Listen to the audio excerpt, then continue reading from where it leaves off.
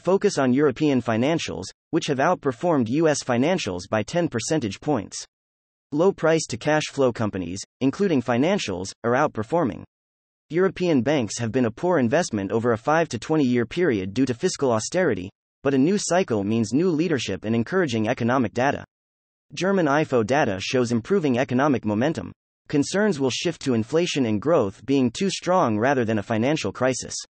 Low price to cash flow and international equities are worth considering. The European Bank Stock Index has dropped 75% from its 2007 peak, with many big banks trading below book value. Negative interest rates have hurt European banks, and having some of the yield curve in positive territory would be beneficial. European energy companies are trading at half the value of US ones. Energy and financials were the worst performers in 2023, while tech and services outperformed. First Citizen stock is up 50%, indicating potential for M&A within small and regional banks to cure the ills of badly managed banks. Blanket coverage on uninsured deposits is not necessary. Despite government intervention and regulation following the collapse of Silicon Valley Bank and Signature Bank, uncertainty remains about whether book values accurately reflect asset costs.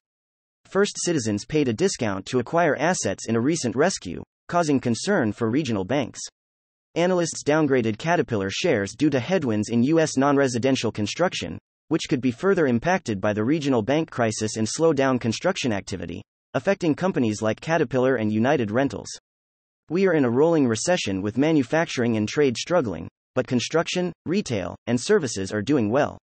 The focus should be on companies with strong current cash flow and a low price to cash flow ratio across sectors and countries. Tech may work if the Fed cuts interest rates,